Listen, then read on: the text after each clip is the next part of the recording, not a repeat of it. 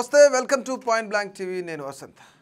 ముఖ్యంగా వైసీపీ అధికారం కోల్పోయినప్పటి నుంచి రోజుకు ఇబ్బంది ఎదురవుతుంది జగన్మోహన్ రెడ్డికి. ముఖ్యంగా మనం చూసుకున్నట్లయితే ఇక్కడ నమ్మి తీసుకొచ్చినందుకు నట్టేట ముంచారు బాబాయ్ అని చెప్పేసి జగన్ ఆవేదన వ్యక్తం చేస్తున్నారు. ముఖ్యంగా ఇన్ఛార్జ్ బాధ్యతలు తీసుకున్నప్పటి నుంచి కూడాను అన్ని అపజయాలే. అటుపక్క మనం చూసినట్లయితే ఇంతకుముందు ఎమ్మెల్సీ ఎన్నికలు కానీ అసెంబ్లీ ఎన్నికలు కానీ ఈ రెండు మనం చూసుకున్నట్లయితే దాదాపుగా రెండేళ్ళ నుంచి కూడాను ఫెయిల్యూర్ స్టోరీగా వైవి సుబ్బారెడ్డి మిగిలిపోయినట్లు కూడా చాలా క్లియర్గా తెలుస్తుంది. ఇక ముఖ్యంగా నమ్మి తీసుకొచ్చినందుకు బాబా ఇట్లా నట్టేట ముంచేరా అని చెప్పేసి జగన్మోహన్ రెడ్డి కొంత ఆవేదన కూడా వ్యక్తం చేసినట్లు కూడా మనకు తెలుస్తుంది. ఇక విజయసాయి రెడ్డిని తప్పించినప్పటి నుంచి వైసీపీకి విశాఖ బాధ్యతలు ఇక వైవి మనం ఇక్కడ చాలా క్లియర్గా చూసినట్లయితే విజయసాయి రెడ్డిని తప్పించి వై వైవి సుబ్బారెడ్డికి విశాఖ బాధ్యతలు అప్పగించారు. ఇక సంక్షోభాల నివారణలో వైవి సుబ్బారెడ్డి విపరీతంగా ఫెయిల్ అంటున్నా కూడా తెలుస్తుంది. ఇక వైవి అసమర్థతే కారణం అంటున్నారు. కొంతమంది స్థానిక నేతలు ఎవరైతున్నారో ఇక విశాఖపట్నం బాధ్యతలు విజయసాయిరెడ్డికి అప్పగించిన తర్వాత ఆయన్ని తప్పించి గత రెండేళ్ళ క్రితం మనం చూసుకున్నట్లయితే వైవి సుబ్బారెడ్డికి ఆ బాధ్యతలు అప్పగించారు. కానీ కొన్ని కొన్ని అసమర్థతల కారణంగానే మనం స్థానిక అసమర్థతల కారణంగానే వైవి సుబ్బారెడ్డి వల్లనే ఆయా ప్రాంతాల్లో మనం విఫలమవుతున్నాం. చాలా క్లియర్గా సంక్షోభాల నివారణలో కూడా వైవి సుబ్బారెడ్డి ఫెయిల్ అయ్యారని చెప్పేసి అక్కడ మనకు చాలా క్లియర్గా తెలుస్తుంది. ఇక వైవి అసమర్థత కారణం కారణం వల్లనే స్థానిక నేతలు కూడా చాలా క్లియర్గా చెప్తా ఉన్నారు. ఆయన అసమర్థత వల్లనే మనం వాటికి నివారణ చర్యలు ఏవైతున్నాయో వాటన్నిటిని కూడా ఫెయిల్ అయినప్పుడు వాటిని నివారించడంలో చాలా లోపం వైవి సుబ్బారెడ్డికి ఉందని చెప్పేసి వాళ్ళు చాలా క్లియర్గా చెప్తున్నారు.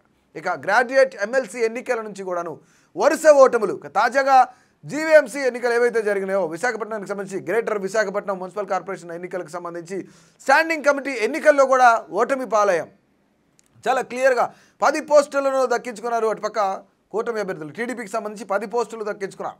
దాదాపుగా ఆ యొక్క ఏదైతే జీవీఎంసీ ఎన్నికలు ఉన్నాయో దాంట్లో ఓడిపోవడానికి ముఖ్యమైన కారణం కూడాను చాలా కీలకంగా అక్కడ ఏవైతే ఫెయిల్యూర్ అనిపించిన వాటిని కొంతమేర వాటిని నిర్లక్ష్యం చేసి దాదాపుగా వాటి అన్నిటిని కూడాను సమకూర్చడంలో వైవి సుబ్బారెడ్డి చాలా ఫెయిల్ అయ్యారని చెప్పేసి చాలా క్లియర్గా తెలుస్తుంది అని చెప్పేసి స్థానిక నేతలు కూడా చెప్తా ఉన్నారు. కార్పొరేటర్లను పార్టీ మారకుండా అడ్డుకోవడంలో వైవి సుబ్బారెడ్డి విఫలమయ్యారని చాలా క్లియర్గా తెలుస్తుందని చెప్పేసి అటుపక్క వైసీపీకి సంబంధించిన చాలామంది నేతలు చాలా ఎక్కువగా చెప్పుకుంటున్న పరిస్థితి ఉంది. కానీ ఇక్కడ వైవి సుబ్బారెడ్డి కూడా ఒక మాట చెప్తున్నారు చాలా క్లియర్గా. చేసిందంతా విజయసాయి రెడ్డి చేశారు. ఫెయిల్యూర్స్ అన్నీ కూడాను ఆయన వల్లే వచ్చినాయి. కానీ అన్నీ అయిపోయిన తర్వాత నా చేతికి కప్పు చెప్పి ఇది నా మీద రుద్దడం అనేది సరైన పని కాదు. గతంలోనే విజయసాయి రెడ్డి ఫెయిల్యూర్స్ అన్నిటికీ కారణం అని చెప్పేసి వైవి సుబ్బారెడ్డి కూడా చెప్తున్న పరిస్థితి ఉంది. సో ఇక్కడ మనం చాలా క్లియర్గా ప్రతి ఒక్కళ్ళు కూడాను చాలా క్లియర్గా అర్థం చేసుకోవాల్సింది ఏంటంటే నమ్మి ఇద్దరికీ బాధ్యతలు అప్పు చెప్పినప్పుడు విజయసాయి రెడ్డి అలా చేశాడని చెప్పేసి వైవి సుబ్బారెడ్డి అంటున్నాడు. కానీ క్లియర్గా జగన్మోహన్ రెడ్డి ఆవేదన కూడా ఇక్కడ వైవి సుబ్బారెడ్డిని కావాలని తీసుకొస్తే బాబాయ్ నమ్మి వచ్చినందుకు కూడాను ఈ ఫెయిల్యూర్స్ అన్నిటికీ ఆయనే కారణమయ్యారని చెప్పేసి జగన్మోహన్ రెడ్డి చెప్తున్నారు. అటుపక్క మనం చూసుకున్నట్లయితే చాలా క్లియర్గా స్థానిక ఎన్నిక స్థానిక నేతలు ఎవరైతే ఉన్నారో వాళ్ళందరూ కూడాను సంక్షోభాలను నివారించడంలో వైవి సుబ్బారెడ్డి ఫెయిల్యూర్ అయ్యారు. అవి నిజంగానే అసమర్థత వల్లనే జరిగింది అంటున్నారు కొంతమంది నేతలు. ఇక గ్రాడ్యుయేట్ ఎమ్మెల్సీ ఎన్నికల నుంచి కూడాను వరుస ఓటములు. దాదాపుగా రెండు సంవత్సరాల్లో గ్రాడ్యుయేట్ ఎమ్మెల్సీ ఎన్నికల ఓటము దాని తర్వాత అసెంబ్లీ ఎన్నికల్లో ఓటమి ఇవన్నీ చాలా క్లియర్గా తీసుకుంటే ఇక తాజాగా జీవీఎంసీతో జీవీఎంసీ స్టాండింగ్ కమిటీ ఎన్నికల్లో కూడా ఓటమి పాలైన పరిస్థితి ఉంది. దాదాపుగా కూటమి అభ్యర్థి అక్కడ కార్పొరేటర్లు ఒక పార్టీ దాదాపుగా పది పోస్టులు దక్కించుకున్న పరిస్థితి ఉంది. ఇక ఇక్కడ చాలా క్లియర్గా అటుపక్క ఒక పన్నెండు మంది కార్పొరేటర్లు పార్టీలు మారకుండా అటు టీడీపీలో కొంతమంది జాయిన్ అయ్యారు అటుపక్క జనసేనలో కూడా కొంతమంది జాయిన్ అయ్యారు. వాళ్ళని కాపాడుకోవడంలో కూడాను ఆ కార్పొరేటర్లు పార్టీ మారకుండా అడ్డుకోవడంలో కూడాను వైవి విఫలమయ్యారని చెప్తా ఉన్నారు. ఇక ముఖ్యంగా ఈ యొక్క ఆరోపణలు జగన్ అంటున్న మాటలను ఏ విధంగా చూడొచ్చు? వైవి సుబ్బారెడ్డి వల్లే ఈ గది పట్టిందని ఇక్కడ స్థానిక నేతలు అంటున్న పరిస్థితి ఉంది. ఇక విజయసాయి రెడ్డి చేసిందంతా చేసింది ఆయనే కాబట్టి మీరు నా మీదే ఈ బురద అనేది కరెక్ట్ కాదనేసి ఇటుపక్క వైవి కూడా చెప్తున్న పరిస్థితి ఉంది. సో ఇక దీనిపైన మరింత వివరణ అందించడానికి మా ప్రతినిధి అమర్ లైన్లో ఉన్నారు. మనం ఒకసారి మాట్లాడదాం. అమర్ చెప్పండి వైవి సుబ్బారెడ్డిని తీసుకొస్తే నమ్మించి నట్టేట ముంచారు వైవి సుబ్బారెడ్డిని చెప్పేసి జగన్ అంటున్నట్లుగా ఒక వార్త జరుగు వార్త చర్చ అయితే జరుగుతూ ఉంది. ముఖ్యంగా దీన్ని ఏ విధంగా చూడొచ్చు? వసంత్ వైసీపీ అధికారంలోకి వచ్చిన తర్వాత విశాఖపట్నాన్ని కార్యనిర్వాహక రాజధానిగా చేస్తామని చెప్పేసి జగన్ ప్రకటించారు. దీంతో విజయసాయి రెడ్డిని వైసీపీ అధికారంలోకి వచ్చిన కొత్తలో విజయసాయి రెడ్డిని వైసీపీ విశాఖ ఇన్ఛార్జ్గా వేశారు వేసిన తర్వాత ఆ విజయసాయి రెడ్డి మీద అనేక ఆరోపణలు రావడం అక్కడ ఉన్నటువంటి క్యాడర్ అంతా కూడా విజయసాయి రెడ్డి ఏకపక్షంగా వ్యవహరిస్తున్నారని ఫిర్యాదులు ఇవ్వడంతో విజయసాయి రెడ్డిని పక్కన పెట్టి ఆ తన బంధువు అయినటువంటి తనకు వరుసకు బాబాయ్ అయ్యేటువంటి వైవి సుబ్బారెడ్డికి ని తీసుకొచ్చి విశాఖ ఇన్ఛార్జ్గా పెట్టారు. విశాఖ ఇన్ఛార్జ్గా వైవి సుబ్బారెడ్డిని పెట్టినప్పటి నుంచి కూడా వైఎస్ఆర్ కాంగ్రెస్ పార్టీ ఆ ప్రాంతంలో రోజు రోజుకు దిగజారిపోతూ వస్తుంది. ఆ గత ఎమ్మెల్సీ గ్రాడ్యుయేట్ ఎన్న- ఎన్నికల నుంచి మొదలు పెడితే నిన్న జరిగినటువంటి విశాఖపట్నం కార్పొరేషన్ స్టాండింగ్ కమిటీ ఎన్నికల్లో కూడా వైసీపీ పది మంది అభ్యర్థుల్లో ఒకరు కూడా గెలవలేదు. ఘోర పరాజయం చెందింది. బలం లేనప్పటికీ కూడా టీడీపీ కూటమి అభ్యర్థులు ఘన విజయం సాధించారు. పది మంది కూడా కూటమికి చెందిన వాళ్ళే స్టాండింగ్ కమిటీలో గెలిచారు. దీంతో క్రాస్ ఓటింగ్ బలంగా జరిగిందని చెప్పేసి రుజువైంది. ఒక్కసారిగా క్రాస్ ఓటింగ్ జరగడంతో పాటు ఇటీవల కాలంలో జనసేన వైసీపీలో వైసీపీ నుంచి జనసేన టీడీపీలో కార్పొరేటర్లు ఆ, ఎక్కువ మంది జాయిన్ అయ్యారు.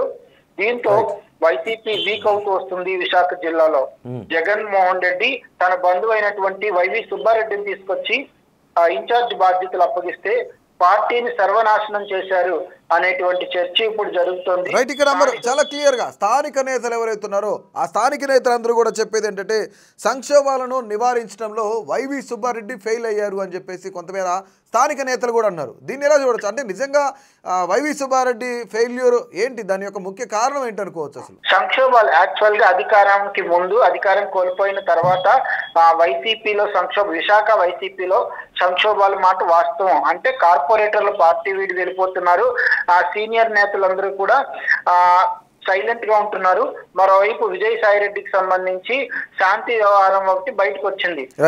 ఈ నేపథ్యంలో విశాఖ వైసీపీలో సంక్షోభం సంక్షోభాన్ని నివారించడంలో వైవి సుబ్బారెడ్డి ఫెయిల్ అయ్యారని చెప్పేసి స్థానిక నేతలంతా కూడా చాలా గుర్రుగా ఉన్నారు. ఇదే సమయంలో విశాఖ ఇప్పుడు రానున్నటువంటి స్థానిక సంస్థల ఎమ్మెల్సీ జనసేన ఎమ్మెల్యే ఎవరైతే వంశీకృష్ణ యాదవ్ ఉన్నారో ఆయన మీద అనర్హత వేటు పడడంతో వైసీపీ స్థానిక సంస్థల ఎమ్మెల్సీ ఎన్నికలకు సంబంధించి నోటిఫికేషన్ వెలువడింది. ముప్పైవ తేదీన ఎలక్షన్ జరగనుంది. దీనికి సంబంధించి బొత్స సత్యనారాయణ అభ్యర్థిగా ప్రకటించారు. బలం ఉన్నప్పటికీ కూడా వైసీపీ టీడీపీ కూటమి వైసీపీని ఓడించాలని చెప్పేసి పక్కా ప్లాన్తో ముందుకెళ్తోంది. రైట్ ఇక్కడ వైవి సుబ్బారెడ్డి బొత్స సత్యనారాయణ గెలిపించుకునే దానిలో చాలా కీలకంగా వ్యవహరించాలి. కానీ ఇటుపక్క కార్పొరేటర్లు పార్టీలు మారుతున్నారు. ఇక్కడ పార్టీలో కొన్ని సంక్షోభాలు ఎదురవుతున్నాయి. స్థానిక నేతలందరూ కూడాను వైవి సుబ్బారెడ్డికి వైవి సుబ్బారెడ్డి మీద కొంత వ్యతిరేకత చూపిస్తున్నారు. ఇక రానున్న రోజుల్లో బొత్స సత్యనారాయణను ఏ విధంగా వైవి సుబ్బారెడ్డి గెలిపించుకోగలుగుతారు అనుకోవచ్చు ముఖ్యంగా వైవి సుబ్బారెడ్డి మీద స్థానిక నేతలు ఆగ్రహంగా ఉన్నమాట వాస్తవమే. ఇక్కడ రెండు విషయాలు మనం చూసుకోవాలి. ఒకటి వైసీ వైసీ విశాఖ ఇన్ఛార్జ్గా ఉన్నటువంటి వైవి సుబ్బారెడ్డి స్థానిక నేతలకు టికెట్ను తీసుకురావడంలో ఫెయిల్ అయ్యారని చెప్పేసి స్థానిక నేతలు గుర్రుగా ఉన్నారు. అదే సమయంలో బొత్స సత్యనారాయణ ఉత్తరాంధ్రలో చాలా సీనియర్ నేత ఆయనకు విశాఖ శ్రీకాకుళం విజయనగరం జిల్లాలో చాలా పరిచయాలు ఉన్నాయి. చాలా మంది నాయకులు ఆయన పిసిసి అధ్యక్షుడిగా గతంలో పనిచేశారు కాబట్టి ఆయనకి ఎలక్షన్ మేనేజ్మెంట్ అన్ని తెలుసు. స్థానిక నేతలను ఎట్లా మేనేజ్ చేసుకోవాలి అనే విషయంలో. కానీ విజయసాయి రెడ్డికి కూడా ఇన్ఛార్జ్ కాబట్టి ఆయన మీద కూడా అంతే బాధ్యత ఉంటుంది. వైసీపీ అభ్యర్థిని గెలిపించాల్సిన బాధ్యత ఉంటుంది. కానీ ప్రస్తుత పరిస్థితులు చూస్తే మాత్రం కేవలం పత్రికా ప్రకటనలు మీడియాతో మాట్లాడడానికి మాత్రమే వైవి సుబ్బారెడ్డి పనికొస్తున్నారు తప్పితే మేనేజ్ చేయడంలో ఎలక్షన్ మేనేజ్మెంట్లో కానీ పోల్ మేనేజ్మెంట్లో కానీ లేదంటే కార్యకర్తలు పార్టీ మారకుండా చూసుకోవడంలో విజయసాయి రెడ్డి స్పష్టంగా ఫెయిల్ అవుతున్నారు. రైట్ మరి ఇక్కడ ఇంకో ఇంకో విషయం ముఖ్యమైన విషయం ఏంటంటే ఇక్కడ జగన్మోహన్ రెడ్డి కానీ స్థానిక నేతలు కానీ వీళ్ళందరూ కూడా ఎవరి వర్షన్ వాళ్ళు చెప్తున్నారు. కానీ వైవి సుబ్బారెడ్డి వర్షన్ ఏంటంటే విజయసాయి రెడ్డి పార్టీకి డ్యామేజ్ చేశారు. విజయసాయి రెడ్డి చేసిందంతా చేసి తర్వాత నాకు అప్పు చెప్పారే తప్ప ఆ బురదంతా నా మీద జల్లుతున్నారు. కానీ ఇది విజయసాయి రెడ్డి చేశారని చెప్పేసి ఆయన చెప్తున్నారు. ఎట్లా చూడొచ్చు దీన్ని? వైసీపీలో వైసీపీని డామేజ్ చే డామేజ్ చేయడంలో ఎవరికి వాళ్ళే భాగస్వాములు అయ్యారు ఇది ఒక్కరికని చెప్పలేం. జగన్మోహన్ రెడ్డి నుంచి మొదలు పెడితే ఆ పార్టీలో ఉన్న మంత్రులు సీనియర్ నాయకులు అందరూ కూడా ఎవరికి వారే డామేజ్ చేస్తున్నారు. అయితే విజయసాయి రెడ్డి మీద ఆరోపణలు రావడంతో వైవి సుబ్బారెడ్డిని పంపించారు. విజయసాయి రెడ్డి మీద వేసి వేయడానికి కారణమే పార్టీకి డామేజ్ చేస్తున్నారని.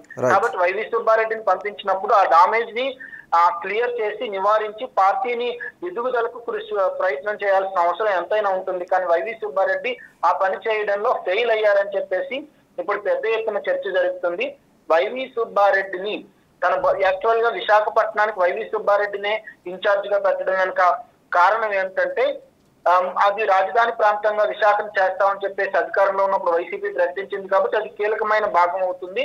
దీనికి వీళ్ళు తన బంధువులు తనకు తెలిసినటువంటి తన అనుయాయులు మాత్రమే ఉంటే ఆ బాగుంటుందనే ఉద్దేశంలో జగన్మోహన్ రెడ్డి సుబ్బారెడ్డికి అప్పగించారు. కానీ సుబ్బారెడ్డి మాత్రం జగన్ ఆశలను బొమ్మ చేశారు రైట్ పార్టీని నట్టేటం ఉంచారని చెప్పేసి ప్రస్తుతం చర్చ జరుగుతుంది. Right Amar right Amar thank you so అది పరిస్థితి నమ్మి తీర్చుకొచ్చినందుకు సొంత బాబాయే నట్టేయటం ముంచారని చెప్పేసి ఒక పక్క జగన్ ఆవేదన వ్యక్తం చేస్తున్నారు. మరోపక్క స్థానిక నేతలు కూడాను కొంతమేర ఆయన ఏదైతే నష్ట నివారణ చర్యలు తీసుకు నష్ట నివారణ చర్యలు తీసుకోవడంలో విఫలమయ్యారని చెప్పేసి కొంతమేర స్థానిక ఎవరైతే నేతలు ఉన్నారో వాళ్ళు కూడా చెప్తున్న పరిస్థితి అయితే ఉంది.